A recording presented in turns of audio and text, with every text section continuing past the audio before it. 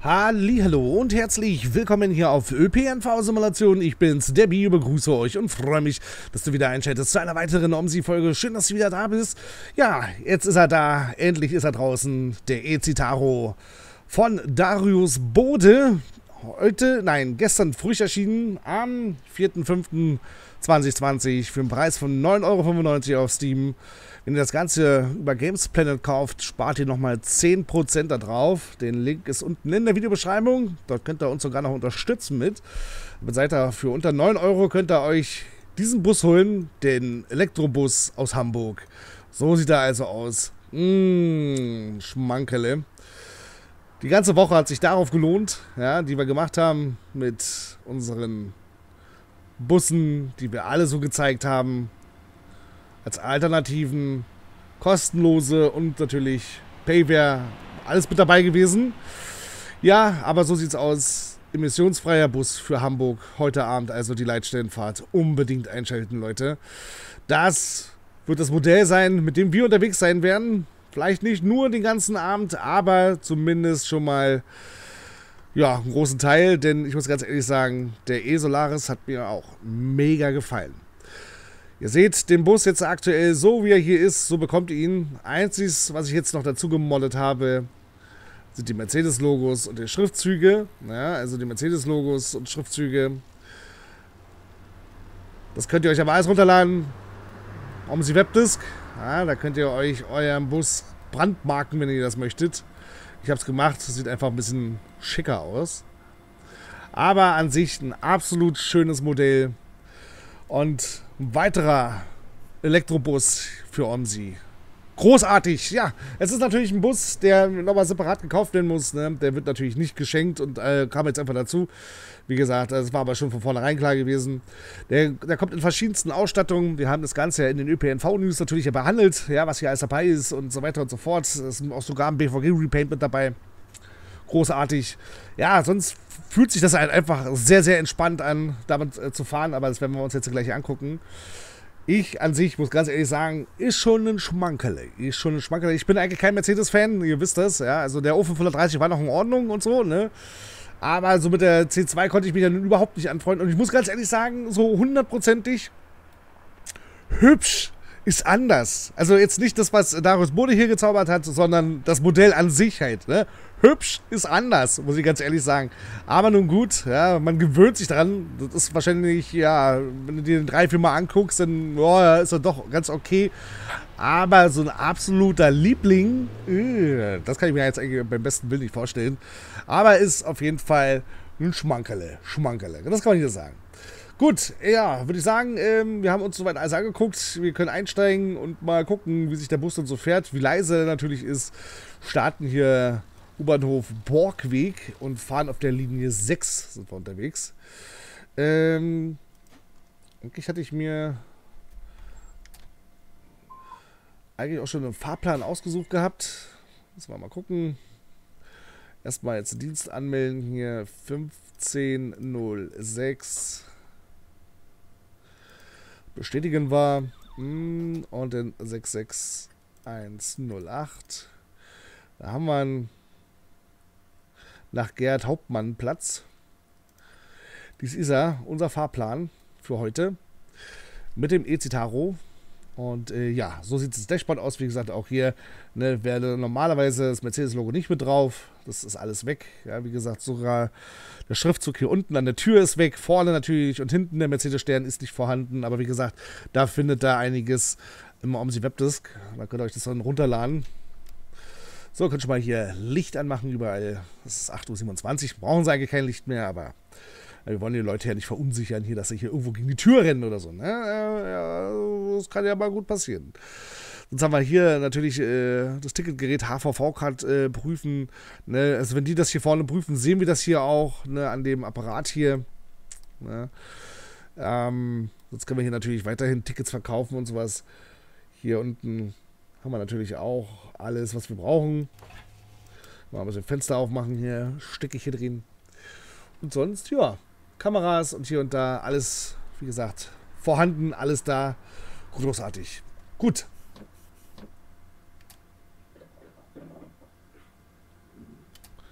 Ihr seht, on, off. Ja, wir sind jetzt, äh, er ist an. Man hört nichts. Er ist an. Man hört nichts. Großartig. Ja, wir sehen jetzt hier die Anzeige, ne? Wo normalerweise der Drehzahlmesser ist, äh, haben wir jetzt äh, nur 100% und 100%. Ja? Einmal ist ein Plus und einmal ist negativ. Ja, okay. Ähm, dann klar off, wenn er aus ist. Und äh, wir sehen, er ist ready. Ne? Ja, sonst haben wir genug Strom drauf. Also die Hälfte von Strom ist drin. Da, nee, wir, wir haben sogar vollen Strom. Die Batterie ist voll. Ähm, jetzt gerade ein bisschen verguckt. Und sonst, ja, gibt es hier eigentlich nichts anderes, als wie bei jedem anderen Bus halt auch. Ne? Wenn wir uns das Ganze hier so dementsprechend alle angucken, ist halt alles beim Alten. Ne? Ja. Gut, vier Minuten noch. Ich würde mal sagen, wir ziehen mal vor und lassen mal hier schon die Fahrgäste hier einsteigen, damit sie natürlich hier wegkommen.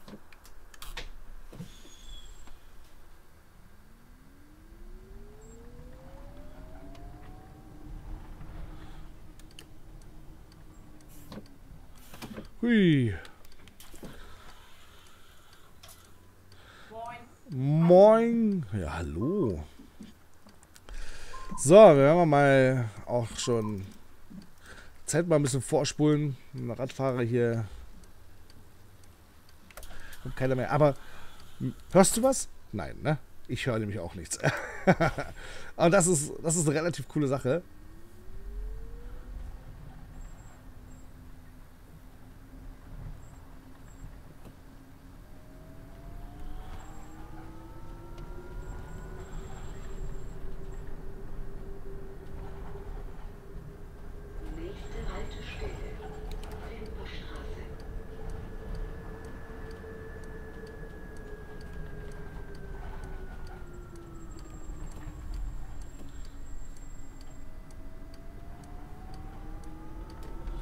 So, die Semperstraße.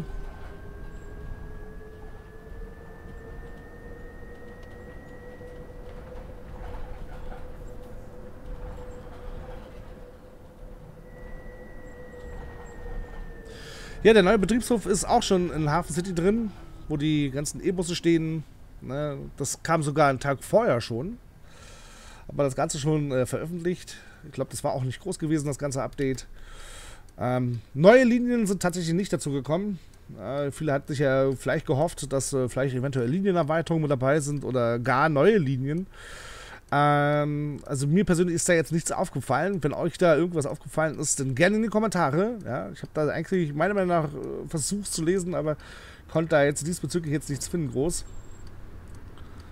Aber vielleicht, manchmal ist es ja so, manchmal überliest man dann einfach äh, kleine Details und dann ja, wie gesagt, also falls euch da irgendwas bekannt ist, nutzt doch gerne die Kommentarfunktion.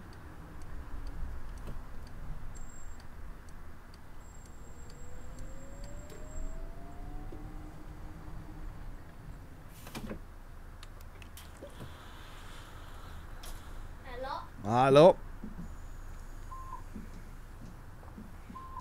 Morgen.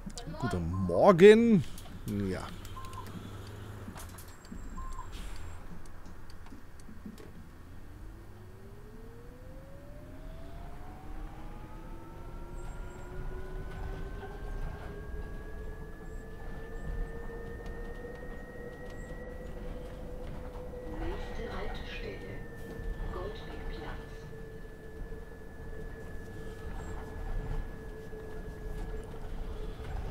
Hier ist 30.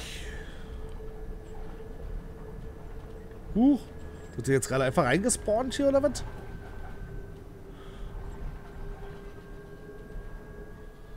Da sind es auch so breite Autos, verstehst du?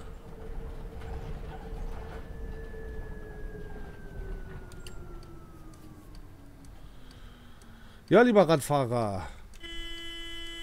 Was ist denn los? Du hast Achtung, Alter. Ja, wie man sie kennt, ja. Einfach fahren, ja. Wenn ich langsam fahre, passiert schon nichts.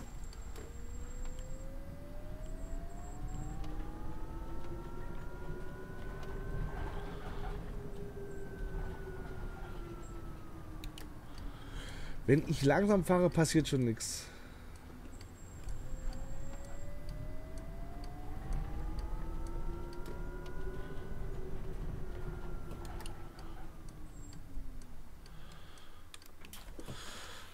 So, alles einsteigen. Ja, moin.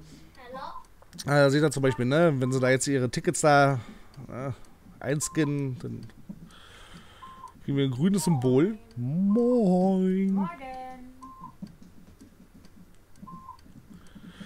Ja, hier heute Abend Leitstern fahren, Leute. Wird großartig. Unbedingt dabei sein.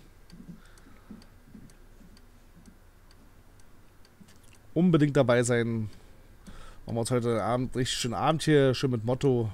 Wir fahren grün. Das wird fantastisch. Das wird fantastisch. So. Allerdings werde ich mal wieder die Zeit mal wieder ein bisschen vorspulen.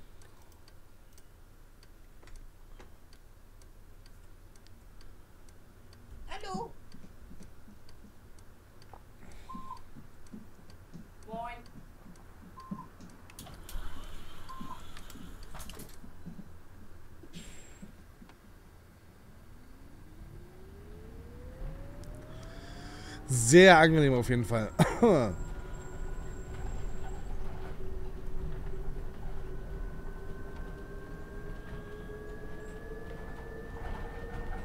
Nächste Haltestelle, Bertigstraße.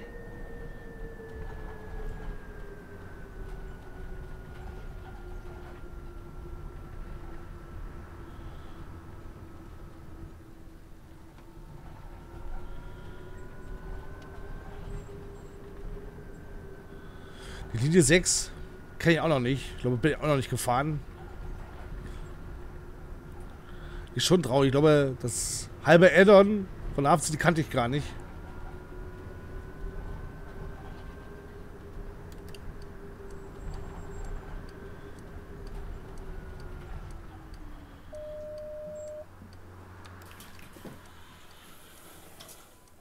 Oh, wir gar keine Ahnung mit.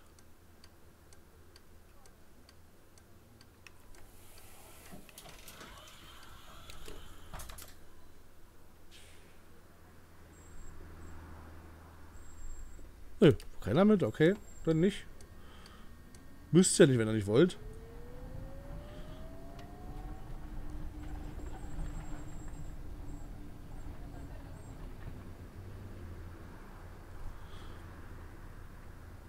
Wer nicht will, der hat schon, ne, Leute?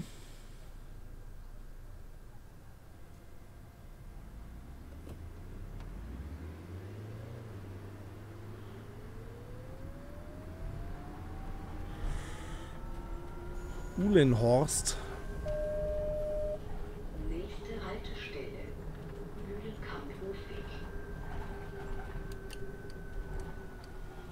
Ja, da war bestimmt ein Fehler drin gewesen. Die, die wollten bestimmt mitfahren. Aber ich muss ja echt gestehen, ich kenne kenn das hier gar nicht, ja? Hallo.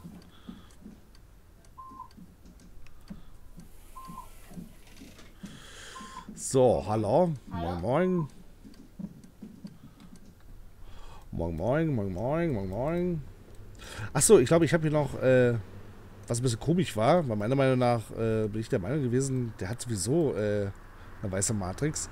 Der hat jetzt hier noch eine weiße Matrix drin und da gibt es auch schon eine Mod.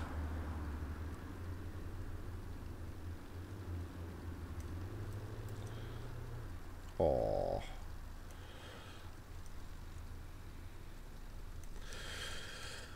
Wir müssen eh ein bisschen warten, weil sonst sind wir wieder zu früh.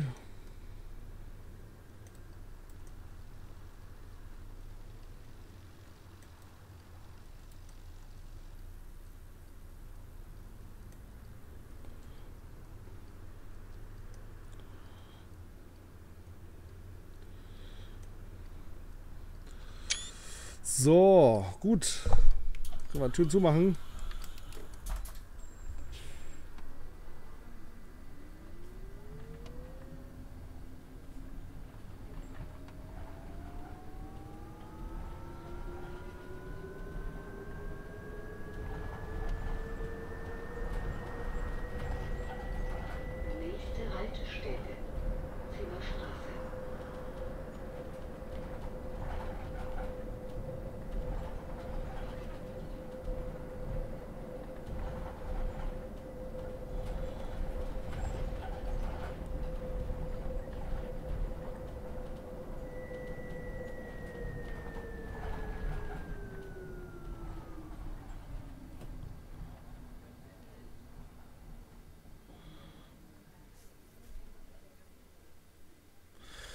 Ja.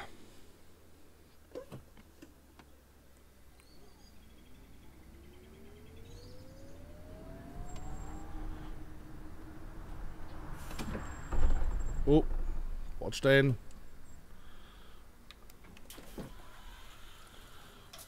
Moin. Moin, moin. Moin. Moin.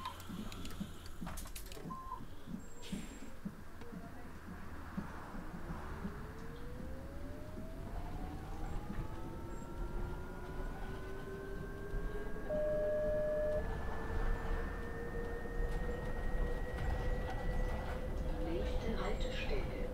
Aserhoffstraße.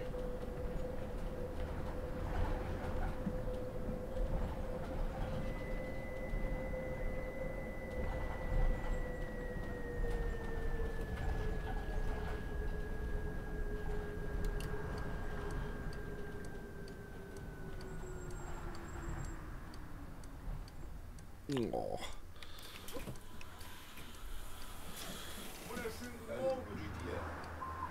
Schon wieder los hier. Die Zeit hier, die geht gerade so absolut gar nicht runter. Moin, moin. Moin, moin. Da können wir mal gucken, ob wir hier ein besseres Bild kriegen irgendwie.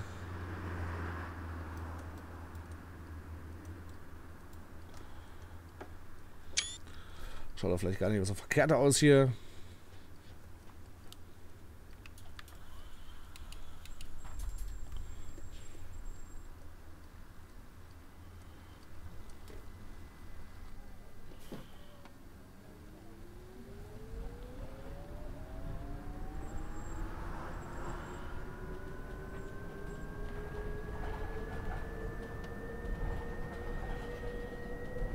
Nächste Haltestelle. Gutsburger Brücke.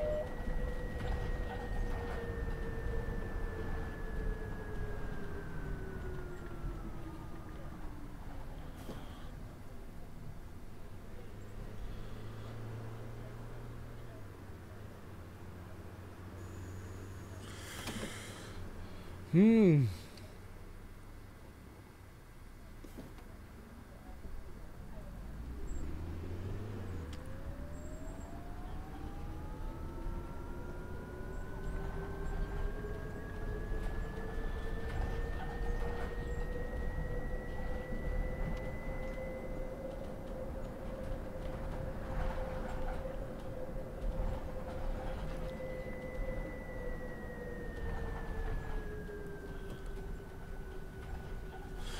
Ja, aber so im Großen und Ganzen bin ich recht zufrieden. Fährt ist sehr angenehm.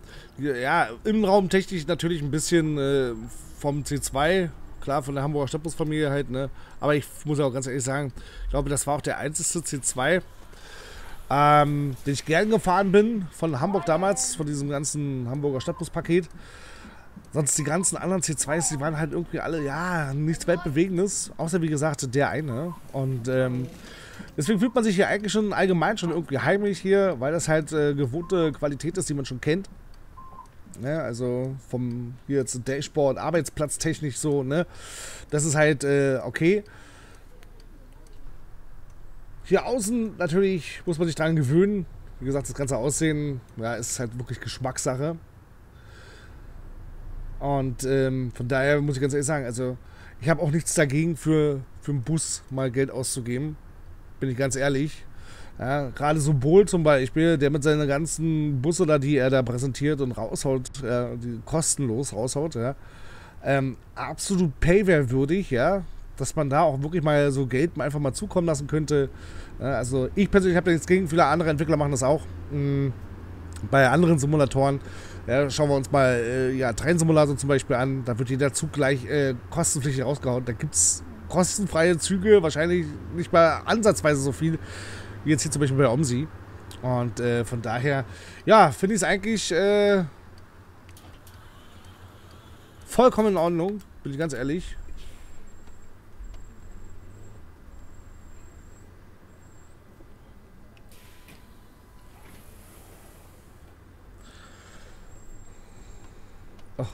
Geh doch mal zu.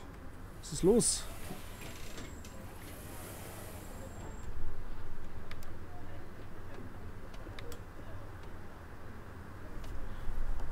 Oh.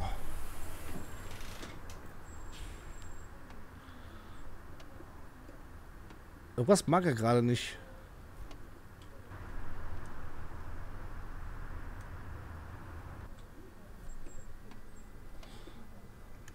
Habe ich die Handbremse drin, bitte?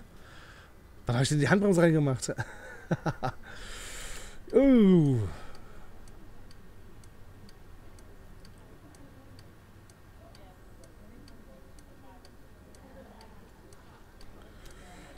Ich bin schon wieder Radfahrer hier, ja, da. Du hörst sie, du hörst sie.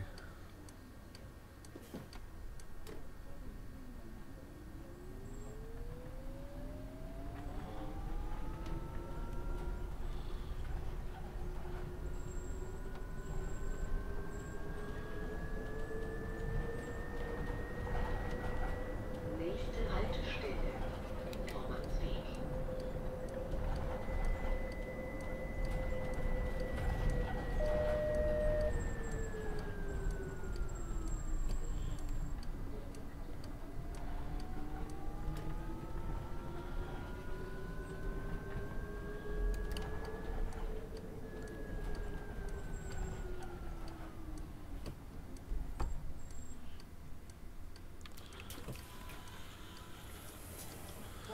Moin. Damit haben wir jetzt also dann auch in Hamburg angefangen mit unserer grünen Woche. Und sie endet dann auch wieder in Hamburg. Mit einem Volvo angefangen, mit einem E-Citaro beendet. So muss das sein. Absolut großartig. Und so mu- muss ich ganz ehrlich, wenn ich jetzt mal ehrlich bin, so muss das sein. Weiß ich, ein Produkt ankündigen, innerhalb von zwei, drei Wochen erscheint es denn. Oder einen Monat oder sowas, ja. Und nicht jetzt hier zum Beispiel wie London, ja. Äh, London vor zwei Jahren angekündigt, heute immer noch nicht da. So läuft das. Äh, ja, also da auf jeden Fall müsste man gucken, dass man da irgendwie noch so ein bisschen. Äh, also so wie Darius Bode das gemacht hat, hat das absolut großartig gemacht. Angekündigt, innerhalb von zwei, drei Wochen kam es dann raus und so lange versucht geheim zu halten, wie es geht halt. Sind da immer wieder mal so Bilder vom E-Citaro aufgetaucht. Mit dem meistens immer mit dem Zusatz ist VIP. Ja, ist VIP. VIP. Also VIP, ne? VIP. Und ähm, ja, somit hat man eigentlich gedacht gehabt, dass äh, der Bus halt wahrscheinlich nie in Ormsee erscheint halt. Ja. Glück gehabt, dass er nun doch da ist. Und ich muss ganz ehrlich sagen, es ist eine Bereicherung für Omsi. Ne? Der eine oder andere wird vielleicht gar nicht so toll finden. Aber als beste Alternative, wenn ich jetzt hier wirklich mal so eine Alternative anbieten darf, ja, klar, neben dem Volvo, wenn ihr Hafen City natürlich habt, das ist auch ein Spitzenbus, muss ich aber ganz ehrlich sagen, so vom kostenlos, ja, also so, so kostenlos gegenüber Payware, äh, ganz klar, der E-Solaris. Der fährt sich großartig, klingt absolut fantastisch. Und dieses ganze Fahrfeeling einfach absolut großartig eingefangen. Also das ist so die perfekte Alternative, wenn man auch mal mit E-Bus fahren möchte oder sowas. Ja, also mein Tipp da, der E-Solaris hat mir richtig gut gefallen.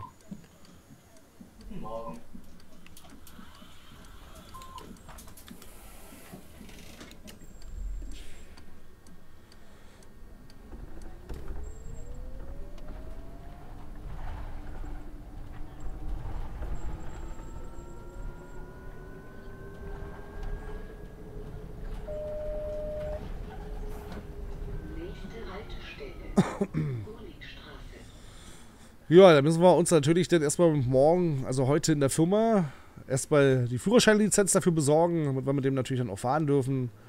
Ähm, brauchst du mal Lizenzen, damit du mit diesen Fahrzeugen fahren darfst.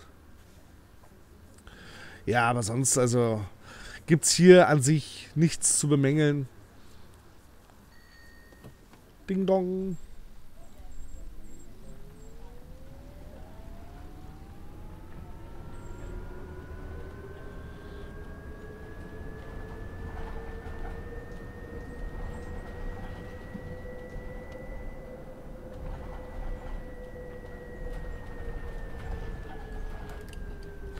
Ja, heute klappt es nicht mit dem Blitzer, wa? Schon der zweite gewesen, wo wir gerade dran vorbeigefahren sind. Aber der Fahrplan, der ist so großzügig hier, da brauchst du gar nicht rasen. Im Gegenteil, ich schenke den immer noch Minuten, ja.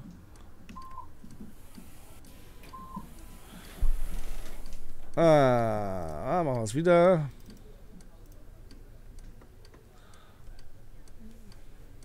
Guten Morgen.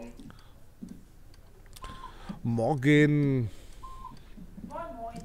Moin, moin.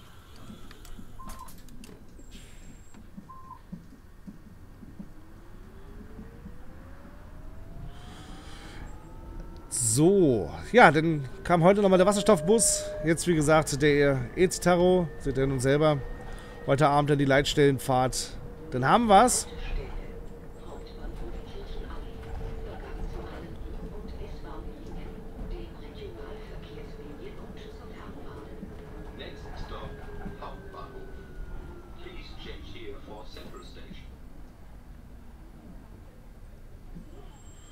Wir jetzt so frech und stellen uns jetzt schon mal hier rauf.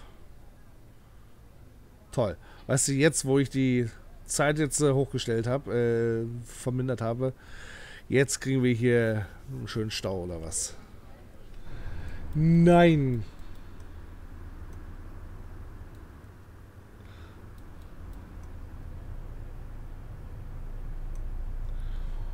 U Feld, äh, Feldstraße über U St. Pauli.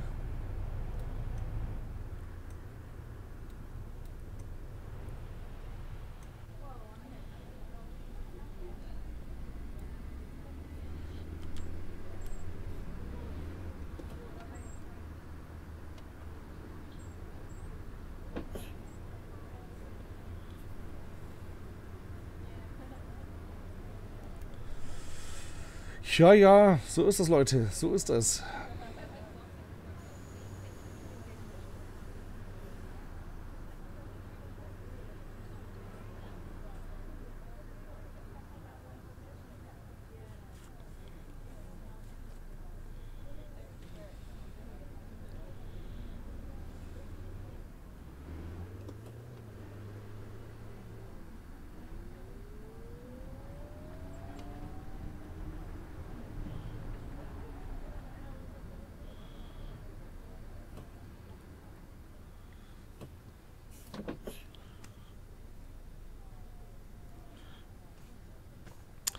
So, das muss es auch mal geben.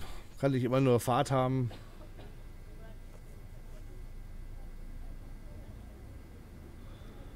Wenn die Ampel jetzt vielleicht noch grün wird, das ist fantastisch. Solange mir jetzt keiner in die Karre fährt, nichts dagegen.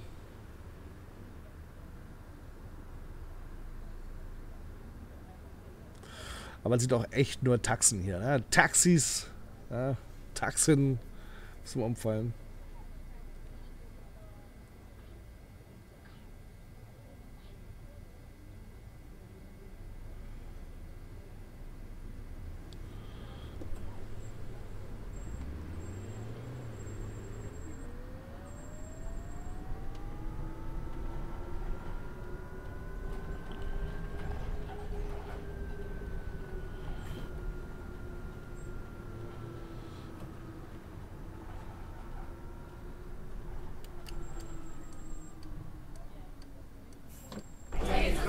Oh.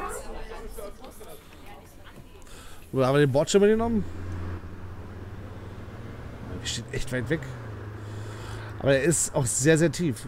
Also der passt hier, na doch, der müsste eigentlich drüber passen. Na toll, jetzt sind sie alle wieder sauer mit mir hier. Musste das sein? Ja, ja. Du mich auch. Aber sind nicht alle ausgestiegen.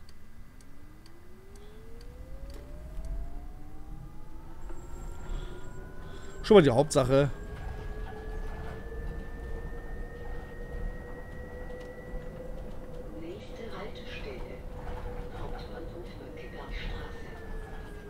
Uh, wieso fahrt ihr denn nicht?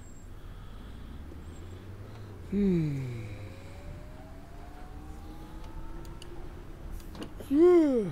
Da kommen Sind die anderen hier durchgekommen? Ja, das geht doch gar nicht.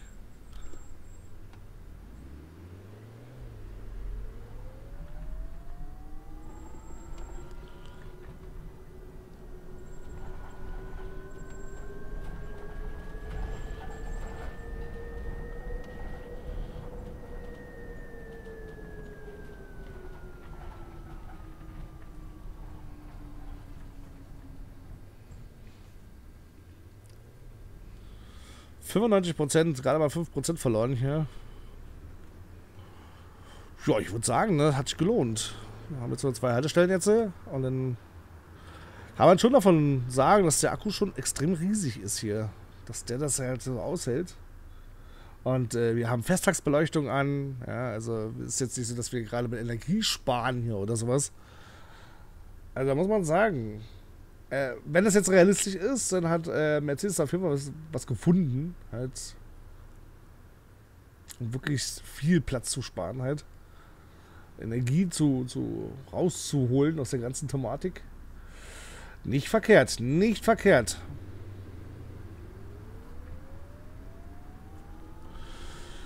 Hab mir schon so gedacht, so, weißt du, Leitstellenfahrt oder sowas mit dem E-Bus, das kannst du knicken, weil der ja wahrscheinlich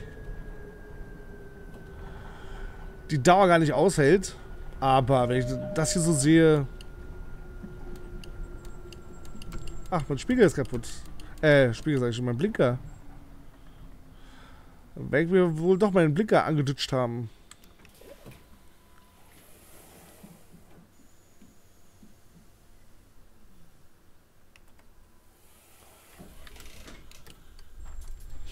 Ja, der rechte Blinker ist hin.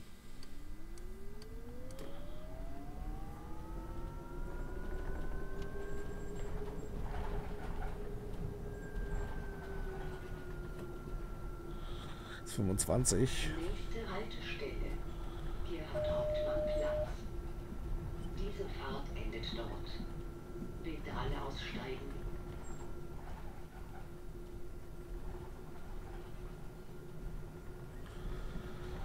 Ja, gerne wie gesagt, eure Meinung in die Kommentare posten. Würde mich mal interessieren, was ihr so von dem E-Citaro haltet. Ist es für euch ein Pflichtkauf? Ist es für euch eher eine Anschaffung, ja, die man nicht braucht? Oder irgendwie nutzt doch gerne die Kommentarfunktion, schreibt es unten mit rein. Mich würde es halt mal interessieren, was ihr so, so denkt. Und wie ihr allgemein einfach dazu steht, wenn jetzt zukünftig vielleicht mehr Busse in Payware, also Payware-Format rauskommen. Nutzt einfach mal die Kommentarfunktion, mich würde das halt brennend interessieren. Und sonst endet die Fahrt hier, Fahrtende, bitte nicht einsteigen. Damit verabschiede auch ich mich. Wir sehen uns hoffentlich heute Abend zum Livestream dann hier wieder. Also wenn ihr mehr davon sehen wollt, unbedingt wieder mit einschalten, würde ich mich sehr drüber freuen. Ja, und sonst, äh, ja, war es das. Von meiner Seite heute, wie gesagt, bis heute Abend. Ab 20 Uhr hier auf ÖPNV-Simulation. Ich verabschiede mich. Tschüss!